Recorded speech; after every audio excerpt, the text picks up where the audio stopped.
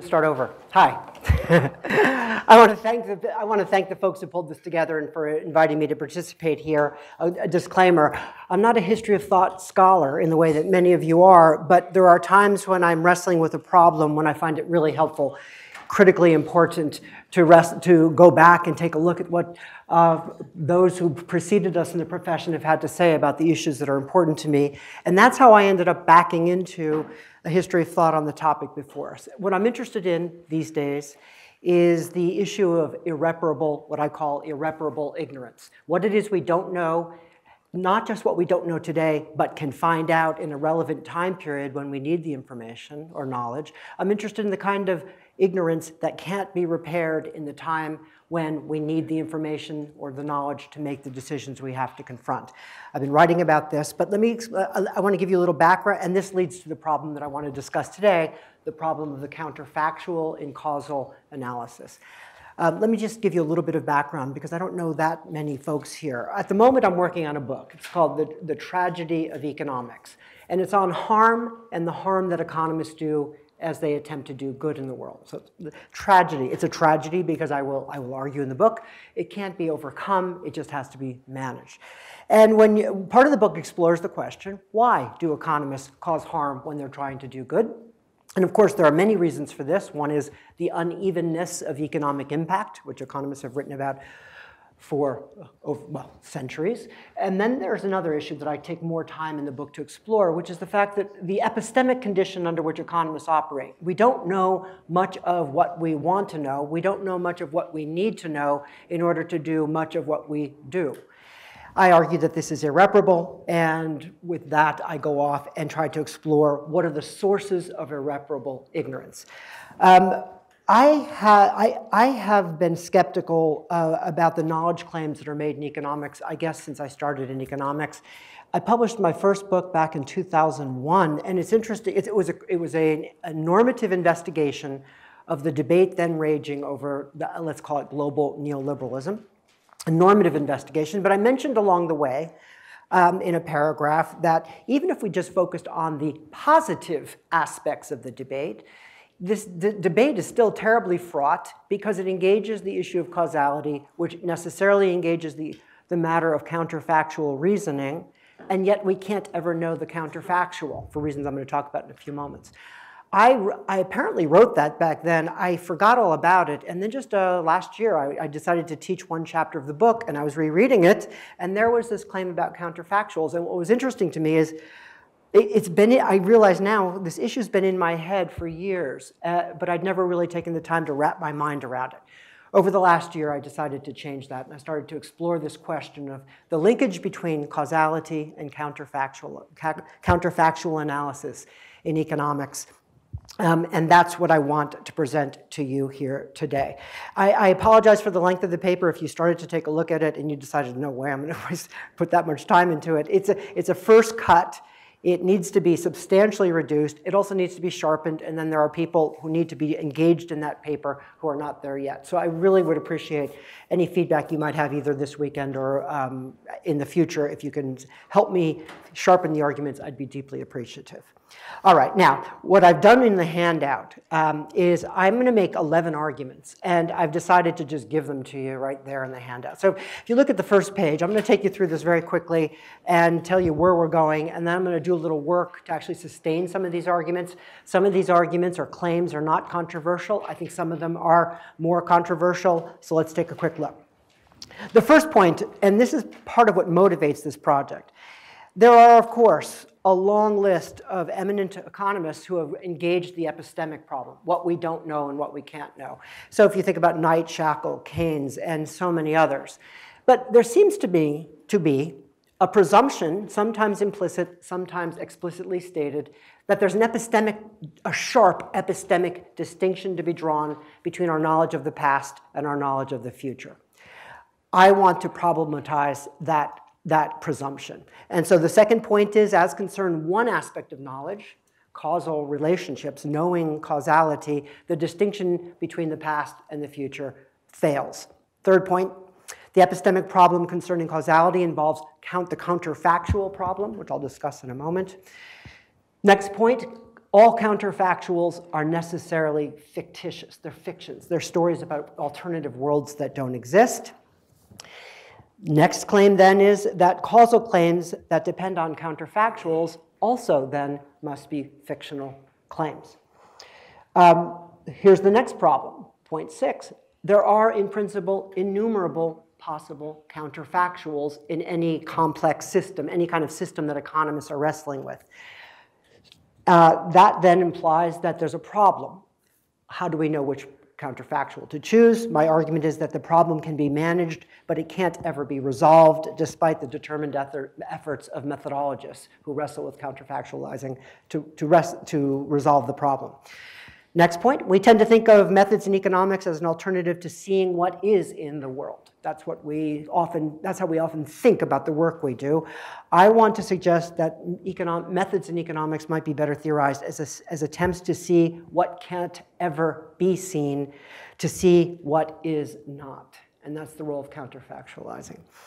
The next point is that this argument does not represent a critique or a rejection of counterfactualizing. We cannot survive without it. We do it all the time in our personal lives and in private lives and in our professional work.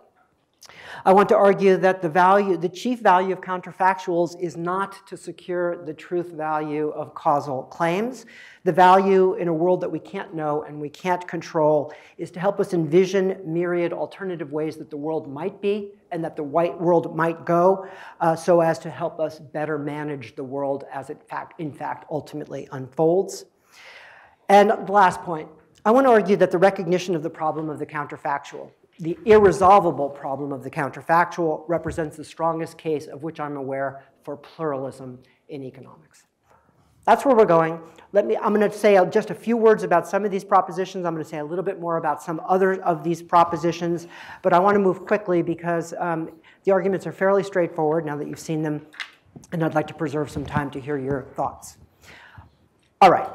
Now, of course, in this group, there's no need to belabor the arguments of Keynes, Knight, Shackle. Um, I do want to suggest, as I said, that they draw an epistemic distinction between the past, knowing the past, knowing the future. We see this also in the work of someone like a Deirdre McCloskey, very sharply in the work of Deirdre McCloskey, in fact, who will take the view that there's so little of importance we can know about the future, but she's very, very confident in what she claims to know about the past. She doesn't claim the epistemic distinction. I would argue she demonstrates it in the way she confronts the past as opposed to the future. Shackle makes the point explicitly that I want to go after here. He says um, expectation is not rational, but then speaking of the vital fundamental difference between the nature and meaning of the, I'm sorry, I should tell you, after I've given you a bunch of the quotes I'm going to be drawing on in the next few pages. So. The vital and fundamental difference between the nature and meaning of the content of time past or present and the time and the content of time to come was brought into brilliant focus by the Swedish economists Myrdal and Lindahl, who evoked the phrase ex ante and ex post to name the two points of view.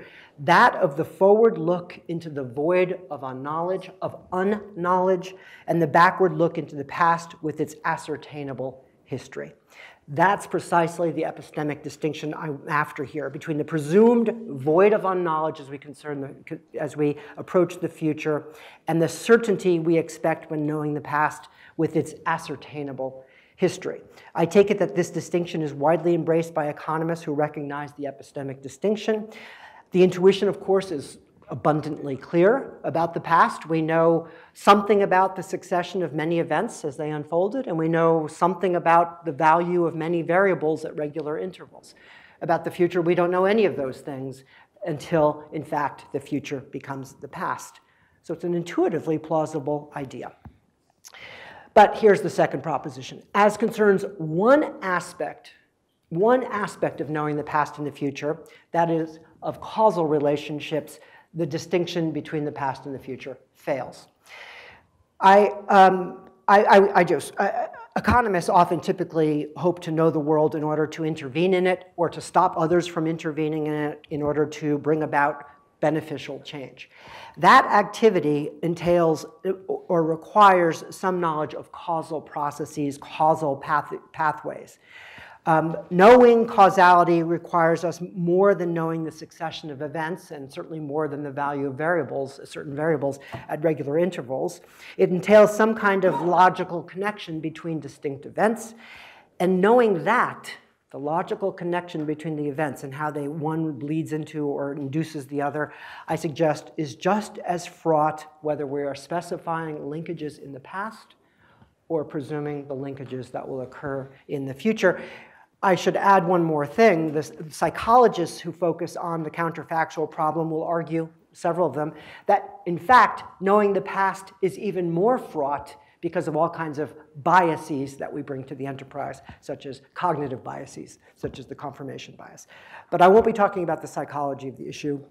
I just wanted to bring that to your attention. Third proposition there's a separate paper, uh, the epistemic problem concerning causality involves the counterfactual problem. Now here, there's really a separate paper. I now realize, which I didn't at the outset, there's a separate paper to be written on how uh, leading economists over the past several well, political economists and economists have dealt with this issue of causality, defining causality, and the role of counterfactualizing in economics. It's a more, it's a more vast literature, a richer literature than I'd been aware of. I provided very few, but some summaries and citations in the paper ranging from Smith to Hume, Jevons, Hicks, to contemporary theorists like Heckman. Um, but I want to be sure to uh, uh, assure you that I know that I haven't begun to explore the richness of this field in economics, um, and that's work that I think is yet to be done. Um, beyond economics, there is a wonderful contemporary literature, goes back several decades now, by philosophers, by historians, by political scientists, really trying to probe the relationship between causal claims and uh, counterfactual claims. And in the paper, I just point the reader to uh, some of the literature.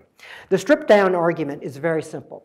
It's um, some, if not all, claims involving causal connections between some event X and some other event Y entail a claim about what would have happened in the world had X not happened.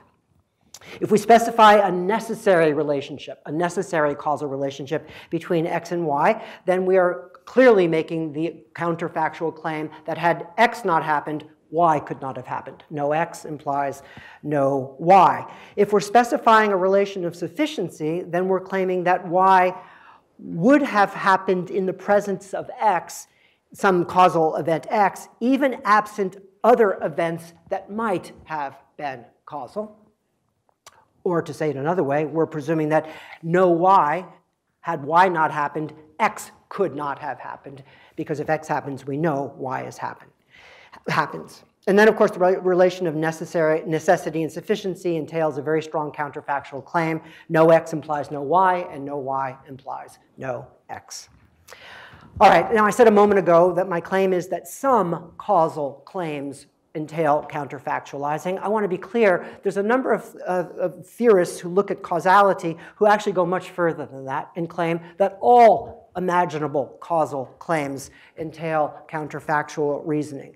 Um, I cite Knight in passing here, his notion of the twofold inference involving theorizing policy effects, and I explore Hicks a bit more extensively in the paper. Um, these economists either define causality in counterfactual terms or they give an account that, implicitly requires counterfactual claims. And so, for example, here's a quotation by Hicks that I think is in the handout. What then do we mean in terms of the new causality if we assert that A caused B? We will take it that we have satisfactory evidence that both of these events did in fact occur. For causality, we must be maintaining that if A had not existed, B would not have existed. If not A, then not B.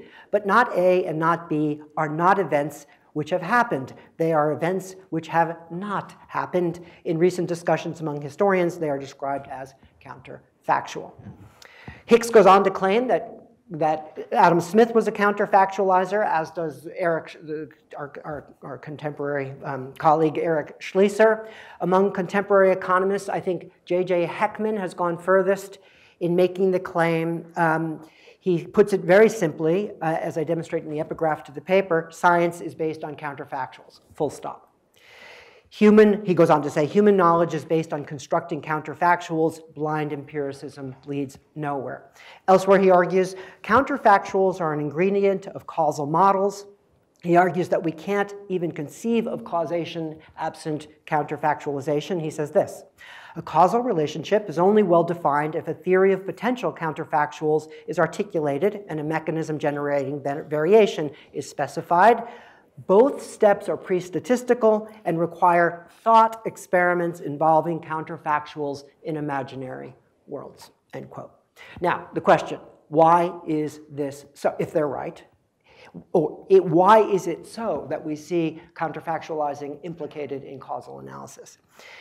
And I, I, think that you know the, the, the, most famous statement of the problem comes to us from Paul Holland in 1986, what he calls the fundamental problem of causal inference, which many or most of you may know about. The, the problem is that to assert causality, or to ascertain causality, we would need to rerun history many times. We would need to take an agent, individual, community, what have you, take an agent, treat it in some way or other, watch how history unfolds, then rewind the tape, go back to the starting point, everything identical, identical agent under identical circumstances, identical, and this time uh, either introduce a different treatment or introduce no treatment, the control, and see how history might go differently. Here's how Holland puts it. Causal inference is ultimately concerned with the effects of causes on specific units. That is, with ascertaining the value of the causal effect of yt of u minus yc of u, which gives the difference in the value of y, the outcome of unit u under treatment t and the non-treatment c. It is frustrated by an inherent fact of observational life that I call the fundamental problem of causal inference. And here it is. It is impossible to observe the value of yt of u and yc of u on the same unit, and therefore it is impossible to observe the effect of t on u, end quote. The fundamental problem of causal inference. Now, this is where counterfactualizing comes in. Counterfactualizing is a way to manage this problem. It can't resolve the problem. It's a fundamental problem that cannot be resolved. So we have to do our best to manage it. How do we manage it? We manage it by the construction of counterfactuals. We specify what would have happened to a unit that did receive a treatment had it not received the treatment. And we, we hypothesize what would have happened to the unit that did not receive the treatment had it received the treatment. Um, we have to ask ourselves, how would the world have gone differently had the untreated unit been treated and had the untreated unit not been treated? All right, that gets us to the next claim, um, which is recognized, I would argue this next claim has been recognized by many of the most careful theorists who are grappling with the problem of counterfactual, and it is this. All counterfactuals are irreducibly fictitious. This is Heckman's view, as we've just seen when he talked about uh, fantasy, fantasy, or imagination, excuse me. Uh, counterfactuals are claims about a world that does not exist, a world that can only inhabit, we can only inhabit in our imaginations. They are the products of our imagination. They are then fictitious, stories or narratives about alternative words in uh, worlds, excuse me, about alternative worlds. In the paper, I describe them as fantasies to really hammer home the point that that's how insecure they are. They are something we construct in our minds and our imaginations. Next claim. Causal claims that depend on counterfactuals, then, are also irreducibly fictitious. Indeed, if the causal claim can't be made without asserting the counterfactual, and the counterfactual is necessarily fictitious, then so must be the causal claim. Um, I think that Hicks, Heckman, and many other economists I've cited in the paper are correct that causality does entail counterfactualizing. And if counterfactualizing is necessarily fictitious, then so are the, then, then we reach this uncomfortable conclusion that our causal claims are as well. Some speak of the make-believe stories we tell um, with our models, for example, to manage in the world. Our counterfactual, claim, our causal claims are not based strictly on what we see. They are based equally on fictitious accounts of what we can never see. Proposition six follows. Um, well, not follows, but the prop next proposition. As concerns the complex events that economists deal with, so I'm not, I have nothing to say about physics or the natural sciences, but as concerns the complex phenomena that economists engage, there are always, always in principle, innumerable possible and even many plausible counterfactual claims. Alternative counterfactuals may very well conflict with each other, and they often do. And these alternatives may then generate alternative conflicting causal claims. The implication is disturbing for those seeking to ground causal claims in counterfactual claims. And so the question then is, how do we know which counterfactual is the right counterfactual? We need this to sustain the claim that our causal claim is the right causal claim, that our causal claim is correct. Next proposition. At best, this is a problem that can be managed. It cannot be resolved, um, despite the best efforts of methodologists to do so. And I want to talk just a few, uh, few minutes about this. Um, there are, of course, the, the theorists who, who, grapple with these issues most carefully, and I, I hope I've cited a good number of them in the paper, recognize the problem that there are always a proliferation of possible counterfactuals, and yet many of them want to hang on to the idea of grounding causation in counterfactualizing. The question then becomes, how do we handle this problem? And the answer is, we devise methods for proper counterfactualizing. And there are a number of criteria that now are present, presented in the literature that purport to teach us how to derive, to generate a, a dependable counterfactual, and criteria, excuse me, criteria for assessing counterfactuals that have been offered by others. I want to just take you through two of these, very, two of these criteria. Um, I want to suggest to you that they are deeply problematic. They are interpreted in diverse ways, each of them such that they lead to contradictory uh, results, and there's often inconsistency among them. So the first one is quite intuitive. It can be thought of as the consistency with historical facts criterion. That if you're going to be specifying some counterfactual narrative. You should stick as closely as you can to the actual facts of the world when you insert your false antecedent that, let's say, X did not happen or some X that did not happen did in fact happen. This is specified in many different ways. Um, this is specified in the closest world framework of Lewis and Stalnaker. It's it's specified in the plausible worlds approach of Hawthorn. It's specified in the minimal rewrite rule. It's specified in static and dynamic models of closeness and so forth. The point, there is a a, a tremendous, not tremendous, but there's a significant range of alternative specifications of what historical consistency is taken to mean. And in fact, some of them conflict with each other, and some of them are explicitly offered as correctives to the others. So for example, if you take a look at the paper, uh, Elster offers the dynamic approach to closeness as a correction to the Lewis-Stalnaker static approach to closeness, and the views then conflict. All right, making matters worse for this criterion, not only is it specified in different ways that disagree with each other, many theorists reject it altogether and introduce the idea that there are often important reasons to introduce what are called miracle causes into our counterfactual stories. These are, um, these are false antecedents that could not possibly have happened in the context of history.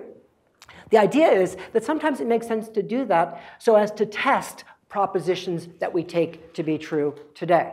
So um, I don't remember what examples I give in the paper. Had it's, it's implausible that MMT as it exists now could have existed in that context, hence uh, it's a miracle cause. The point in doing it is not is to test MMT against the conditions that existed in the 1920s into the 1930s. But there's a fundamental problem here with miracle causes. How are we to distinguish between miracle causes that are taken to be legitimate and useful for generating information knowledge, and how are we and those that are taken to be useless? The critics are merciless on this point. So, for example, here's the example that's often given: had uh, had Napoleon had nuclear weapons at Waterloo, he would have prevailed. Perfectly true, but it's, it's widely taken to be a relatively useless counterfactual. It gives us no useful information about the world as it was then or the world as it is now. That then raises the question then, what's the criteria for distinguishing between useful and useless miracle cause counterfactuals? On this question, as you can anticipate, there is nothing but disagreement among the, method, the counterfactual methodologists. There are other problems here um, that I, I guess I, will leave it alone. Well, let me just, th th this is important, so let me just stay on this for one more, one more moment. Think about the problem of the historical consistency criterion if we were, if we were laying out this kind of a counterfactual. Um, uh, the, the, the false antecedent would be Donald Trump, yeah, Donald Trump loses the election in 2016. If we want to specify, that's a perfectly good a false antecedent to then conduct a thought experiment about what, how the world would have gone with absent Trump and instead with Hillary Clinton. Now think about what the historical consistency criterion requires of us when we specify that. When we specify that he lost rather than that he won, we then have to change all the elements in the world, or those elements in the world, that we think would be necessary for him to have won. So, for example, one might claim that Hillary Clinton would have had to be male rather than female in order for Donald Trump to win. Or you might say the Russians would not have been, uh, would have not, would have had to, would have had to refrain from interference for Trump to win. Or you might argue economic policy for the previous three decades would have had to been different for Trump not to win. And we immediately see the problem. There are innumerable specifications of what would have had to change in order for the false antecedent, Trump loses the election, to be true. And now here's the problem.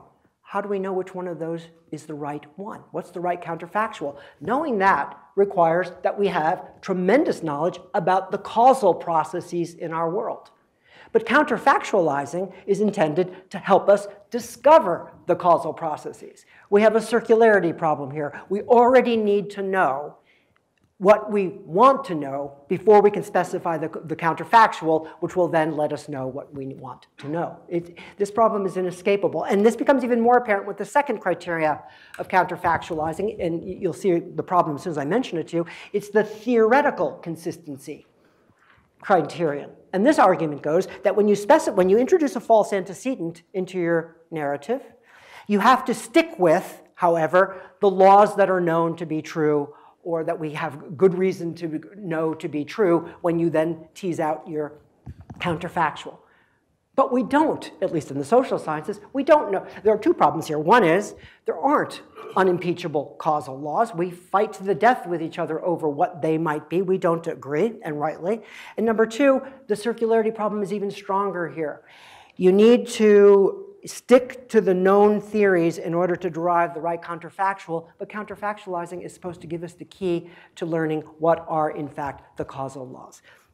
This argument, this problem, is recognized even by the most careful of the methodologists who offer the criterion. At the same time, they offer it. So I'm thinking of people like Tetlock and Belkin, Philip Tetlock and Belkin. They're very good about this. They say, here are our criteria. Let me show you why, in fact, these are so problematic in the social sciences. Next proposition. We tend to think cause, ca casually of research methods in economics as alternative means of seeing what is. I suggest that they are better theorized as attempt attempts to see what cannot be seen, ever to see what is not.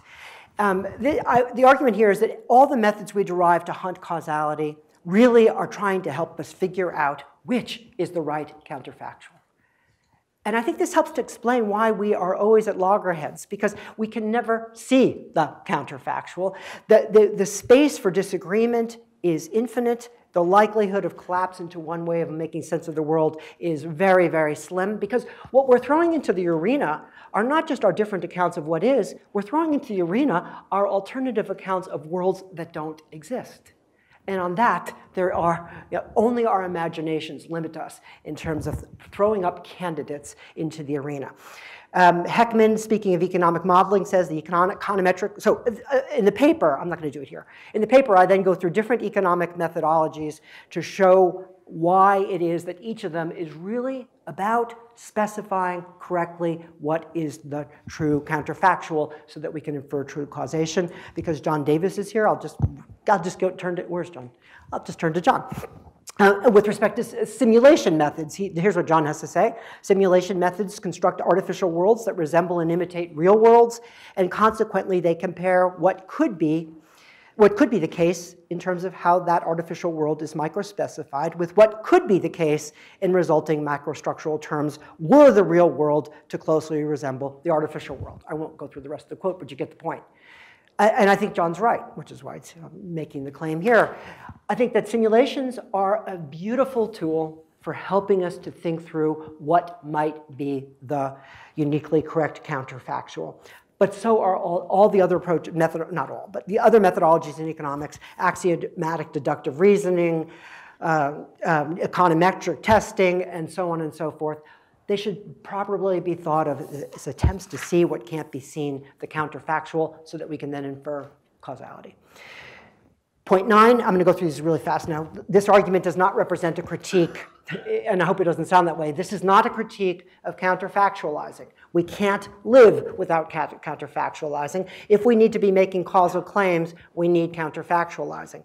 So to say that counterfactuals are fictitious is not to indict them if you think about science fiction, in good science fiction, we're provoked to think about our own world and ourselves differently, and we learn lessons from the comparison that we might not learn as well without the counterfactualizing. That's what a good counterfactualizing, good counterfactual does. It opens up our minds to uh, new insights that we might not achieve as quickly or as well without it.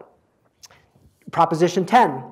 The value of counterfactuals then is not to secure truth. The truth value of, or, or, the assertive, or the assertability for that matter of causal claims. The value in a world we can't know and can't control is to help us envision myriad alternative ways that the world may be and might go so that we can do better to prepare. I just want to draw on a couple of folks here who I think really have nailed this.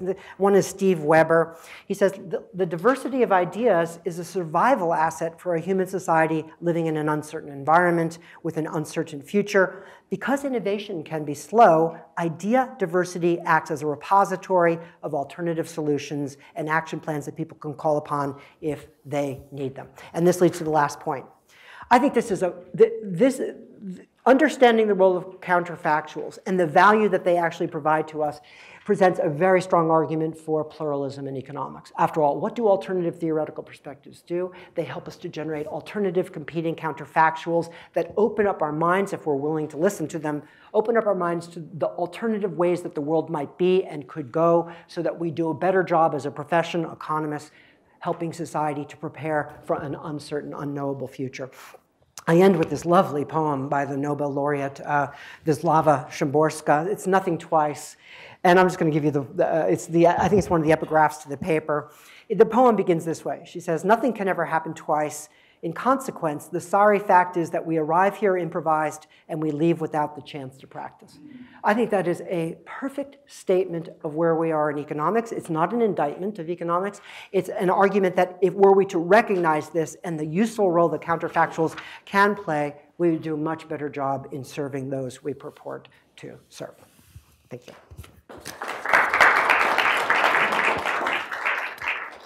Please, I'm sorry, I'll, We're, I'll we're go gonna, this way and then I'll actually, we're gonna run the, the questions from Oh, up here. please do, please do. And I, Carlos, why don't you start while I get myself positioned over Sure. here? So this side is on me, that side is on Ross. So hands up here on this side. Should I go?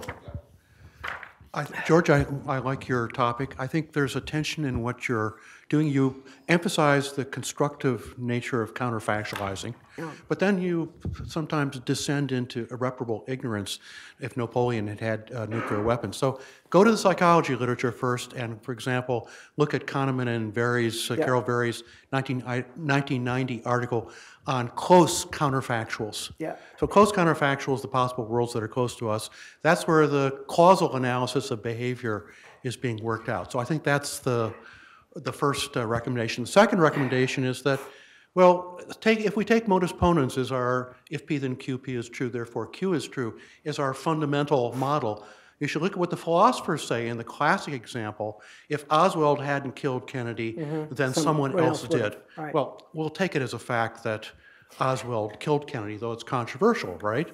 And so we have a false premise, which is uh, creates a valid inference that someone else would have killed Kennedy. So there's information there violating the requirements of modus ponens. So, well, actually, the more interesting thing is that we're not really quite sure that uh, Oswald killed Kennedy. We think he, we take it as a fact. So the point about the past is, uh, this goes to your uh, irreducibly fictitious point, is that we're really not exactly sure what the facts are. Facts are relatively settled for, in a social fashion, but they're still uh, controversial. So the, the boundaries are not quite as sharp sometimes, Yep. as you say. Good. Thanks. Thank you. On the first one, the problem here is this. Close counterfactuals. You can imagine two worlds. You imagine any two worlds, uh, unless you are the one doing, well, imagine two worlds. Um, they may very well be alike in multiple respects, but different in multiple respects. So when we then have a measure of closeness, we've got to sift through the differences in the, the, the, the various differences and similarities or identities and figure out of all the possible alternative worlds, which one is closest.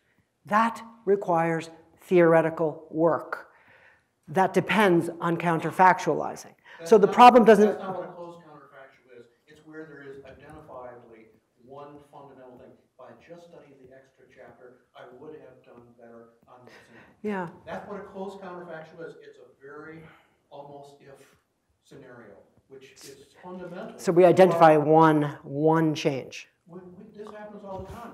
The bus didn't come, it's because But I don't think it happens all the time in economics, is the point.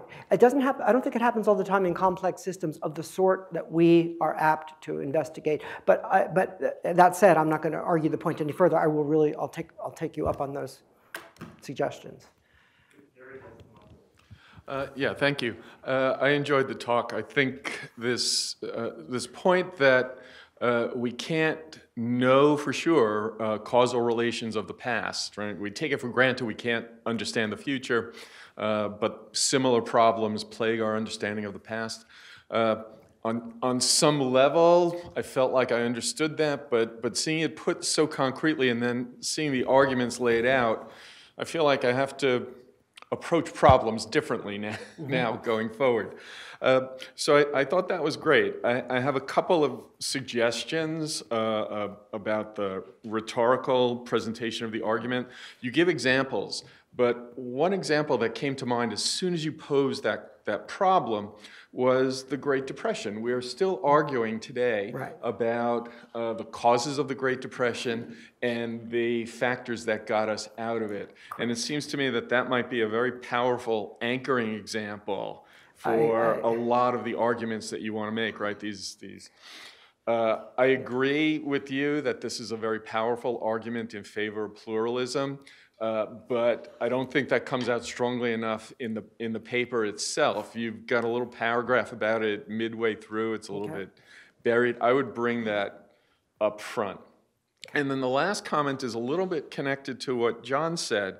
I felt your ending was a little, uh, I say this with love, George, I thought it was a little wishy-washy. Okay. Uh, You know, you, you say that it helps us imagine different worlds and help us to better manage the world. But you know, we can only better manage the world unless we have some understanding of causal mechanisms. So we need to have criteria for, for establishing those, those causal mechanisms, even as we understand that, that the process is rife with, with problems.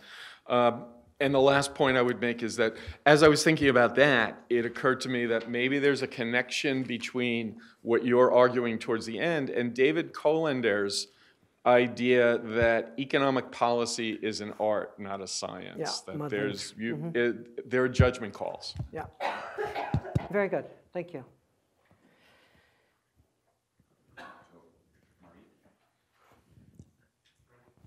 Yeah. okay, thanks. Um, so, George, I really love uh, the challenge that you put on history, the fact that we may not know history just like we may not know the future.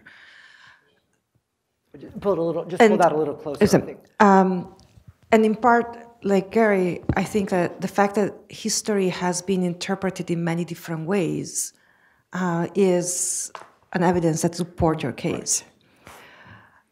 Even things that may sound less controversial than the Great Depression, but if you say, if you look at the same events, um, The- the- the- if you look at the same events Yes. from one author to another, Yes. you have very different interpretation. I'm looking at history written by winners as opposed to the same history written by non-winners, give you very different Exactly, uh, ways of, of understanding uh, or representing the same history.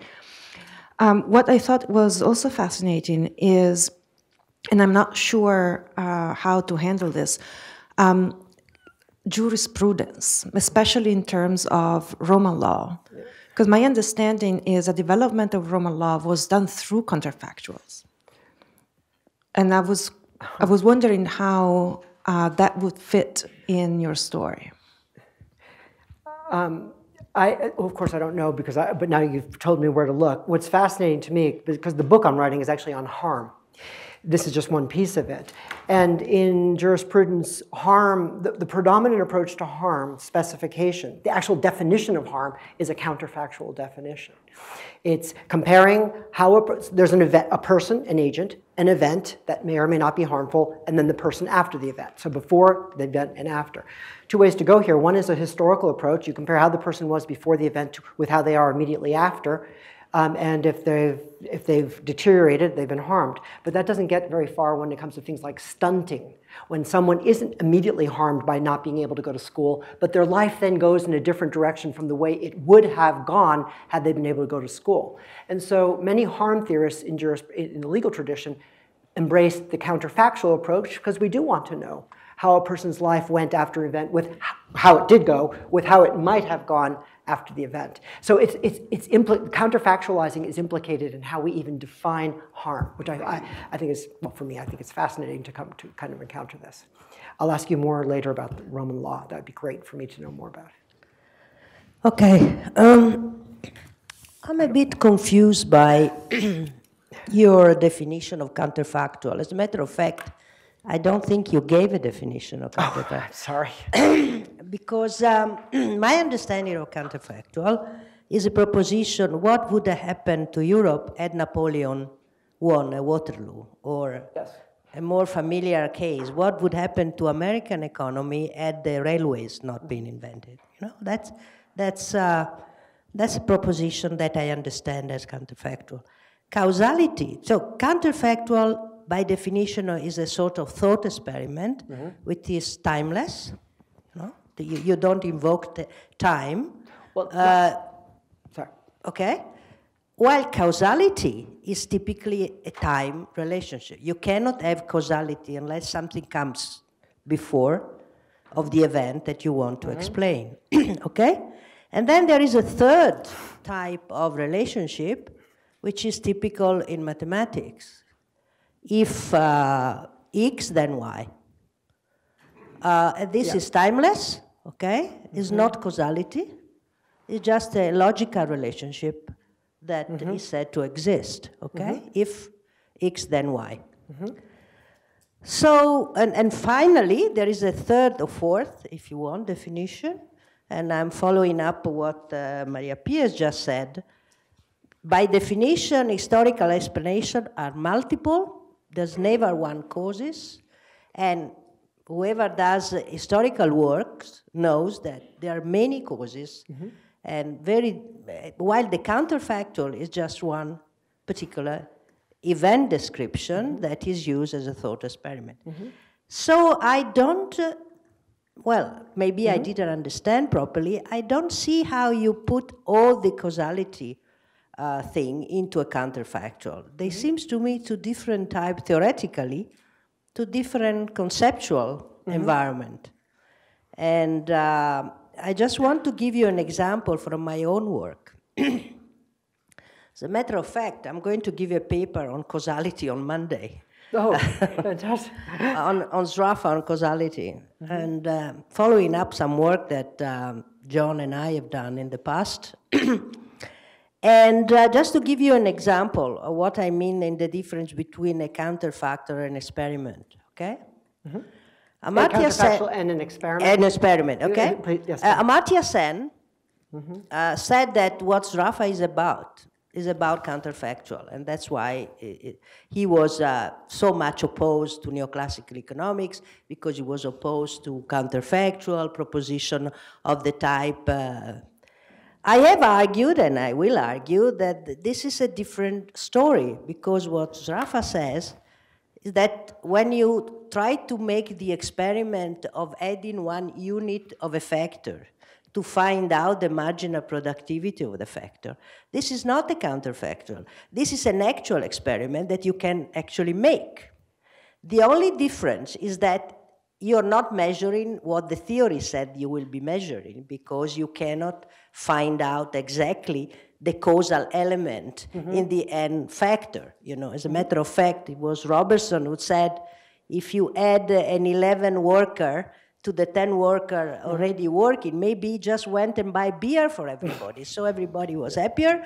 And that's so you're measuring the average product, not the. So what I'm trying to point out to you is that uh, thought experiment or experiment that can actually be made in order to prove a particular theory need not to be necessarily counterfactual. So I, I, maybe I did understand properly. I should have to, I will have to read your paper to see how, you know, you make this argument. But it seems to me that you use counterfactual in a too broad Okay, sense that Yeah. I would, uh, I would accept. Yeah, very good. Um, I, in the paper, I do define counterfactual, and I, if, if you have a chance to take a look at it, I would be so appreciative if you were to, to that piece of it. I would be so appreciative to hear your thoughts. I mean, counterfactual, the definition that's used widely and that I, I accept for my purposes is a, a false antecedent, a false, ante, you know, Napoleon winning the war, uh, winning at Waterloo, with a, subje- a subjunctive conditional, what would have happened next, which is why it's different from the indicative uh, conditional that you just gave us a minute ago. We know that Kennedy was killed. If Oswald didn't do it, we think he did, then somebody else did it. That's not a, that's not a counterfactual, that, that's not a counterfactual of the sort I'm in, uh, pursuing here because there's an indicative conditional, somebody else did it. Um, so that's how it's defined. With respect to, uh, you've said so many things that I now I want to talk to you about. With respect to an experiment, if the experiment is trying to, if the experiment is trying to ascertain uh, causality, then the counterfactual problem is inescapable. Because that agent on whom the experiment is conducted either is treated or that that agent is not treated. If that agent is treated, we're making a comparison with how his, his or her life went against how his or her life would have gone had the intervention not been made on that agent we won't ever know because as soon as that agent got the treatment, the alternative world not getting the treatment goes away, and now all we can do is speculate about it. And so what do we do? We run up the numbers. We do the experiment on 1,000 people with 500 in the treatment group, 500 in the control, and we convince ourselves that that gives us, that gives us insight into the counterfactual we know we treated this group, we see the outcome, the average outcome, we know we treated that, we didn't treat that group. We can then specify, we think, that had someone in the treatment group not been in the treatment group and instead had been in the, that that, or that group as a whole, they would have reacted the way the control group did. That's a counterfactual exercise because we can't ever know. So it's, a, it's an, an attempt to manage the counterfactual. It can't eliminate the problem of the counterfactual if the experiment is trying to test causality. That's, so that's the only little rejoinder to the last part.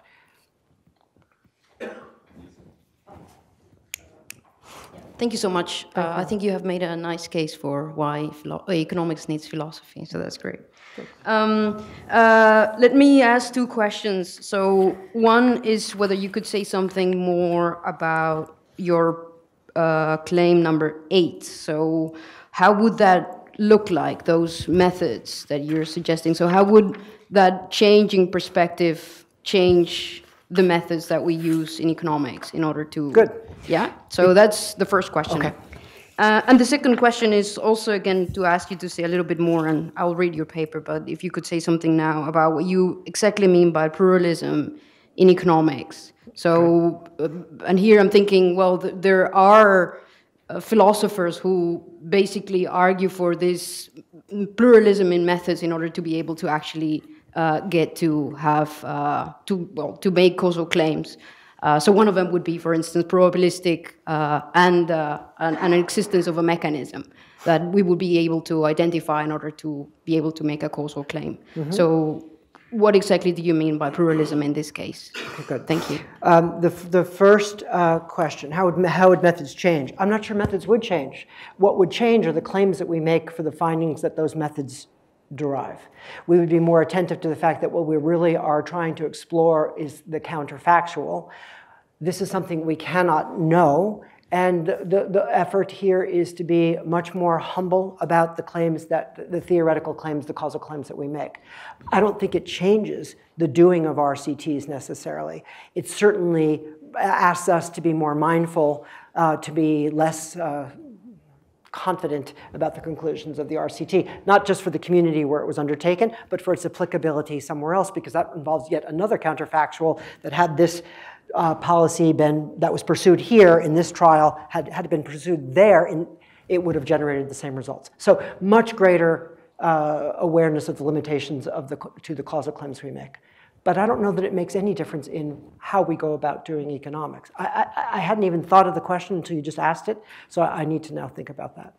Um, sorry, pluralism. I, you know, I, um, uh, if you have, if you pressed me to define myself as an economist, I'd have to say that I'm a post-structuralist Marxist. What the hell does that mean, right?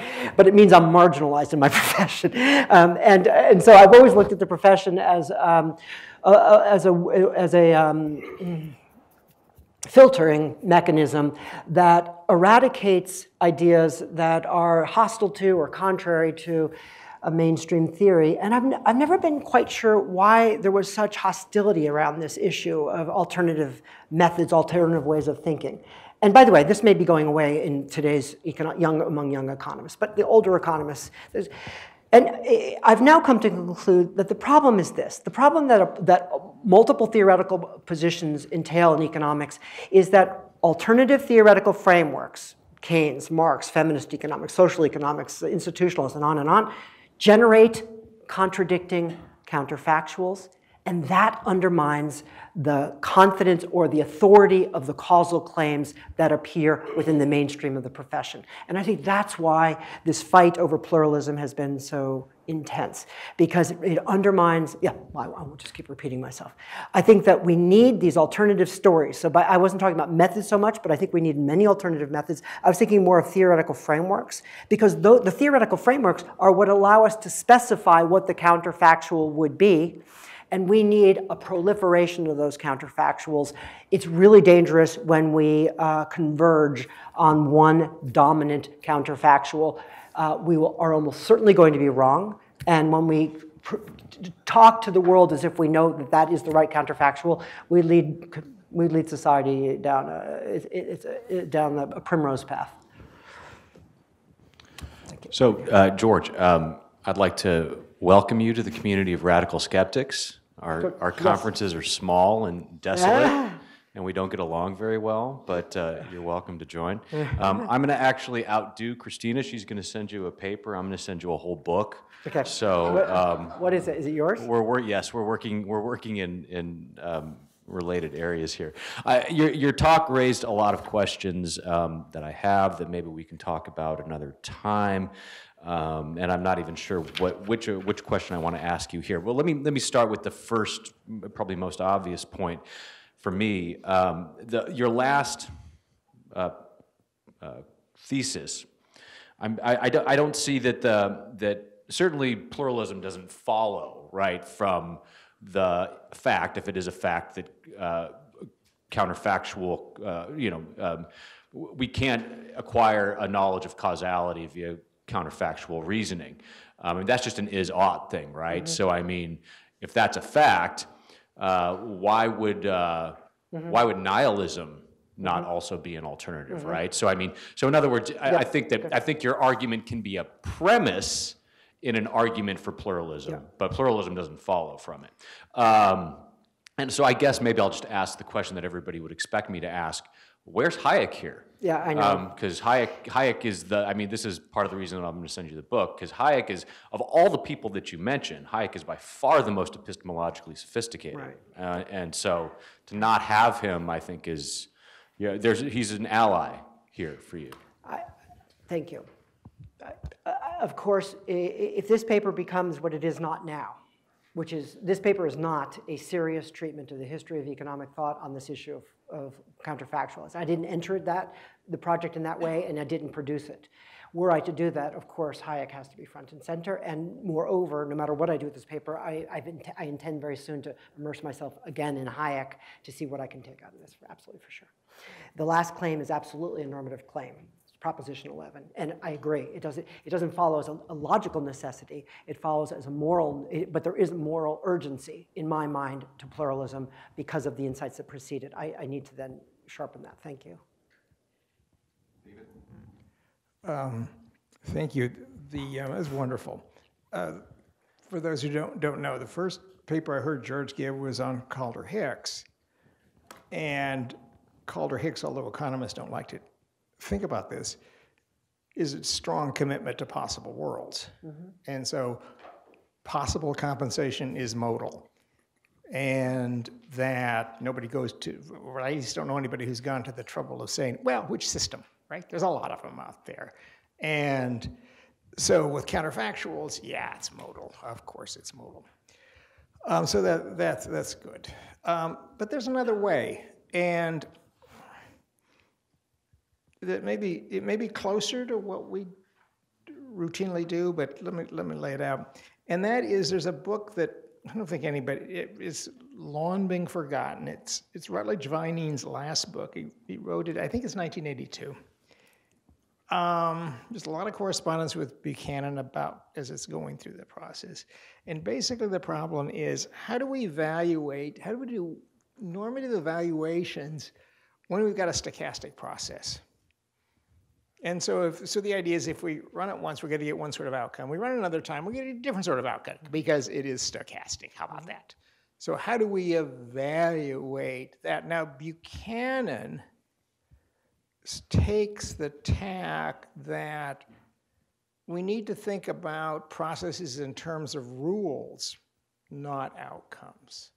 Because the outcome is going to be implementation dependent or something like that, so that there is a, um, there's a, so this, so there's a connection with the kind of stuff that you wanted, you're talking about the literature, you're studying it, but it's also in the Vining Buchanan school, which seems to have a way, I mean, a way of avoiding the modal, the- the sort of the modal issues. Maybe it doesn't, maybe there just seems to avoid the modal issues, but I think that would be something that to, Okay, very good. to, to, to, to, to think through seriously. And that the, I suspect, although I haven't done the details, I suspect this is just a continuation of the Vining Koopman stuff.